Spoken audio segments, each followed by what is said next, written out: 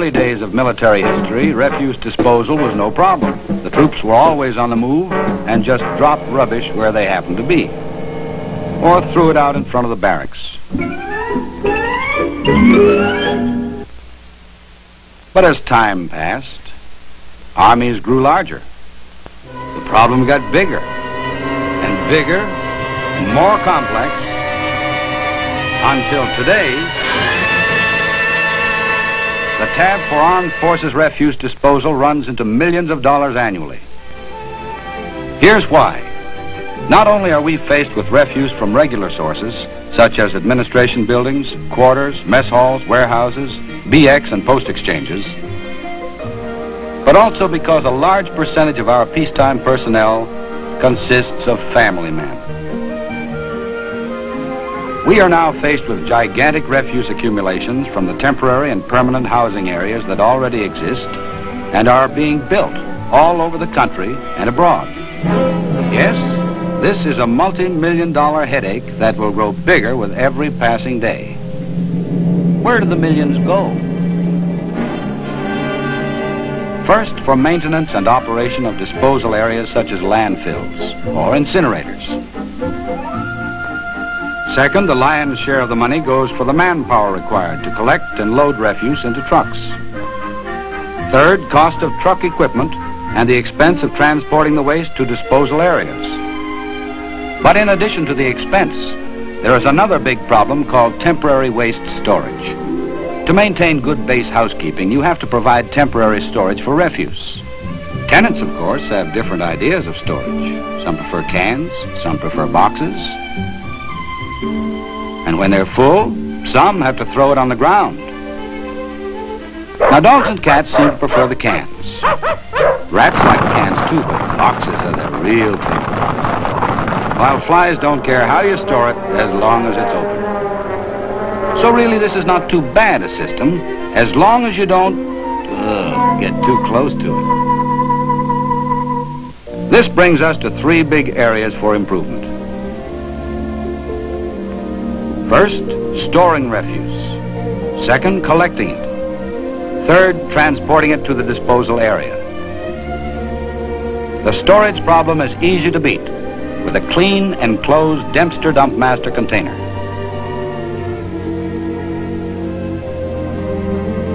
Refuse is dumped through the end doors or the lids. Here it is fully enclosed. Flies can't get in. Ditto for rats. Wind can't scatter it. Fire is out of the question. And man's best friend is dealt a cruel blow.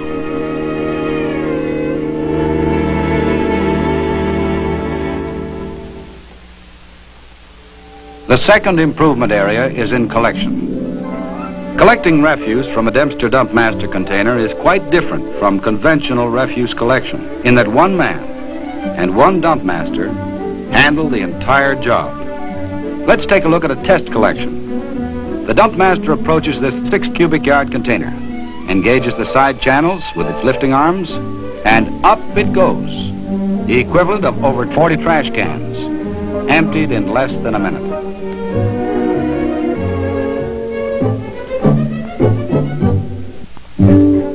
This leaves transporting the refuse as our third area of improvement. Being light and bulky, trash and refuse take up lots of room, and it would require a body far larger than legal size to hold enough for economical payloads. That's why the modern-day packer was developed. There are several types of compaction principles in use today. The so-called paddle packers of relatively short stroke. Then, short stroke, straight thrust packers. And full stroke, straight thrust packers. Using this packer model, we demonstrate the difference in short stroke packing and long stroke packing.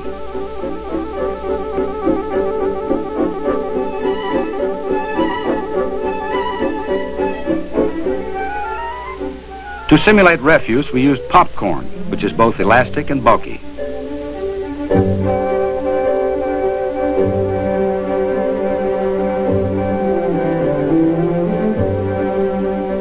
The short stroke has compacted almost to maximum efficiency. But it is pushing against all this springy bulk. Note here in the center, the material is not tightly compressed. Now let's look at the Dumpmaster long stroke principle.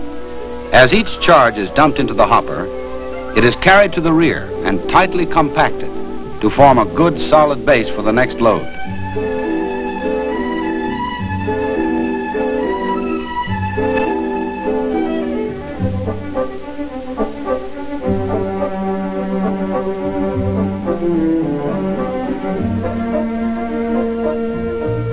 Each load is tightly packed until the body is full. Compaction is tight and solid because the packer plate did not have to push against the entire uncompacted mass. Same material, same model, same force. But 67% more material compacted by weight, by volume, with the Dempster Dumpmaster long stroke principle, which is the way to achieve a maximum payload that all operators pay for, but don't always receive.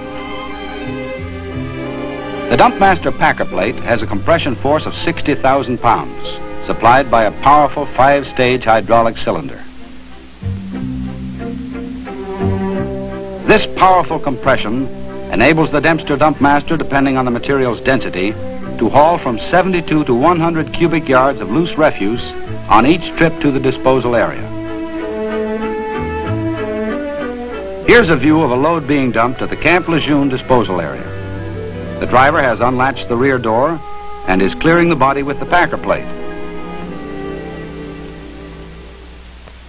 So, we see the three big advantages of the Dempster Dumpmaster system. Sanitary and closed temporary storage. Fast economical collection. And big payloads for economical hauling. Now, let's take a closer look at the Dempster Dumpmaster. It comes with three size bodies. 18 cubic yard capacity called the 18DB, which holds up to 72 cubic yards of loose bulky material. 24 cubic yard, the 24DB, which holds up to 100 cubic yards of uncompacted refuse. And the 30 cubic yard model called the 30DB, which holds up to 120 cubic yards of refuse. The capacity of all bodies depends upon the density of the loose material. The clearance arms come in three lifting capacities. 1,500 pounds called CA-15, 3,000 pounds, the CA-30, and 6,000 pounds, the CA-60. The CA-15 18DB handles one half through three cubic yard containers, while the CA-30 24DB and the CA-60 30DB handle one half through eight cubic yard containers. For special situations, any set of lifting arms may be used with any body size. On the Dumpmaster, the lifting clearance arms, rather than being straight, bridge the cab. An important safety feature, no chance of striking the operator's head or arm. And cab doors may be opened at any arm position, permitting the driver to dismount if necessary, to operate outside controls and move containers to the arms. This speeds operations at locations where inside containers are used.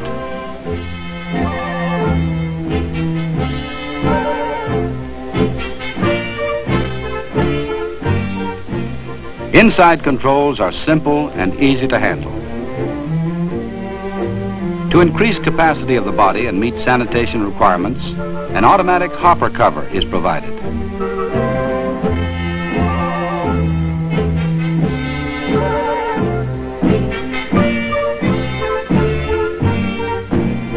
An extra for use in windy areas are the movable hopper extensions. Made of heavy wire grill, they move into position with the arms and prevent light paper from blowing out during dumping operations. Another optional feature is a pressure tank for water or deodorant. This permits easy cleaning of containers used for garbage storage. Yes, the Dempster Dumpmaster has many features that give it the flexibility necessary to meet the complex requirements of armed service bases. For instance, the containers, which range from one half cubic yard capacity up to eight cubic yards. This variety enables base operators to choose the right container for the right job. Here are the three big collection jobs a refuse system must provide for an armed service base. Housing, administrative and service operations, and manual collection service. First, let's look at housing.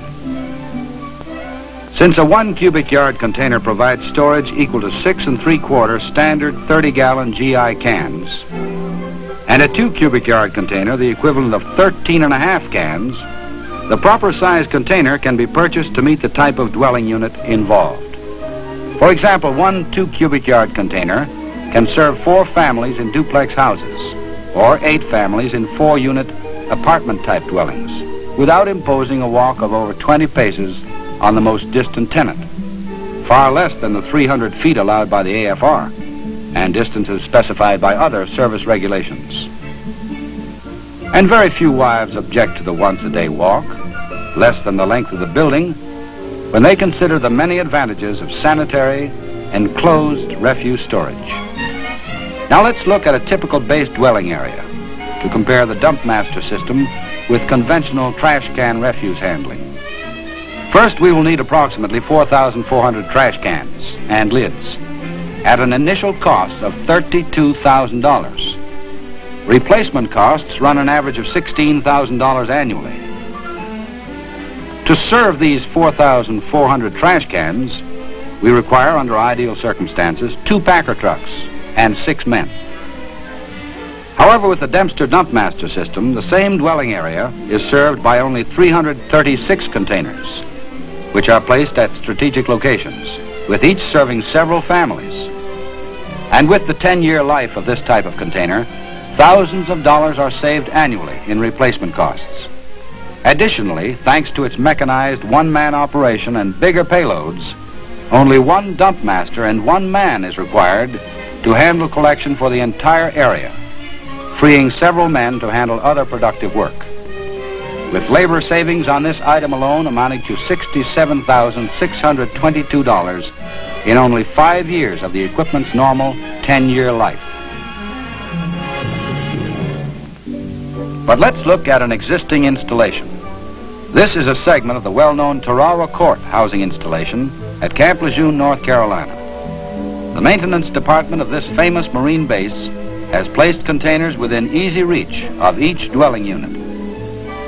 Altogether, 225 containers serve the residents of this model area, where 2,108 Marine Corps families are housed in comfortable, modern quarters. Here are just a few of the many locations served.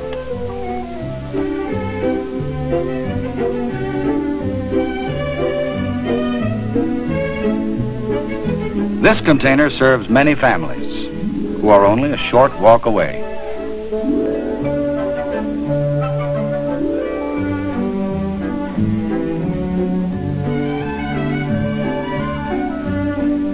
And when the containers are filled, the dump master automatically picks up each container and empties its contents.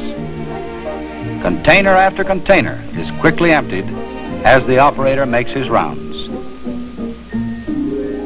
In another section of Camp Lejeune, the trailer area, thousands of tenants are served.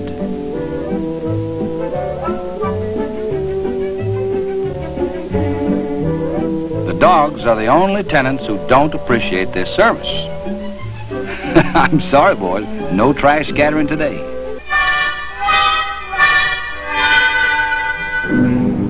The dump master has beaten you to it.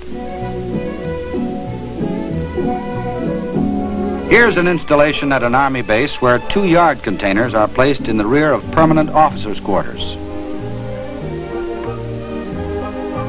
The dump master system is so versatile that containers in the form of benches may be used for litter and trash in housing areas.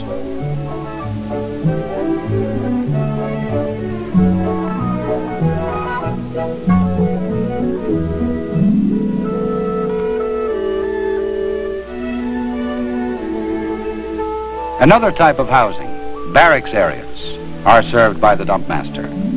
Here is a typical view taken at an Eastern Army post.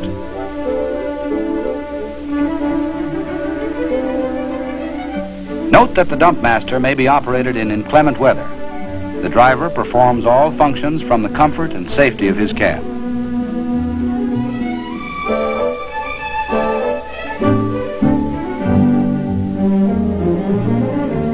Second area of operations is in administrative and service where big volumes of refuse must be handled.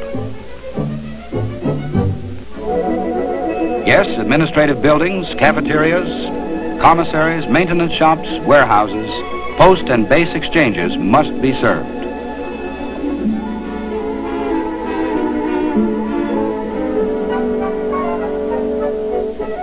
And to meet this larger need, larger containers are available. This on-base filling station and the post shopping area behind it are all served by the dump master.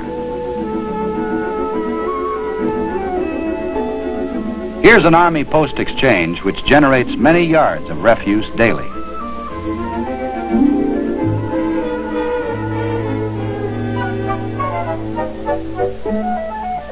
Warehousing and supply operations also generate huge quantities of waste and refuse.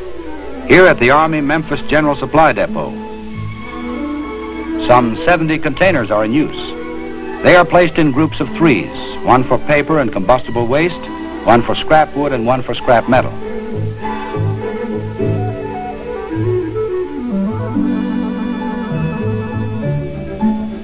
The waste paper is burned at the dump.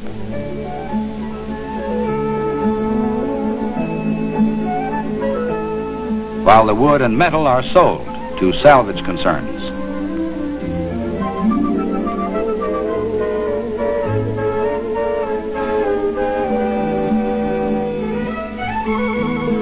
Further demonstration of the flexibility of the dump master is found in manual collection operations. In some areas, manual collection of refuse is necessary, and this three-yard container is all it takes to convert the dump master for highly efficient, conventional packer truck operation. Note the low loading height and the driver's clear view of the men in front of the truck, which reduces the possibility of accidents. When the container is ready for emptying, this swinging baffle plate holds the material in place while it is lifted and dumped into the compaction body. Yes, at armed service bases from coast to coast, Fort Riley, Meade, Carson, Ritchie, Leavenworth, Sheridan, Memphis General Depot, and Frankford Arsenal, Camp Lejeune, Cherry Point, Bremerton Naval Base, Roosevelt Roads, and many others, efficient, low-cost refuse collection is being provided for housing areas, for service and administration areas, and hand collection routes by the Dempster Dumpmaster.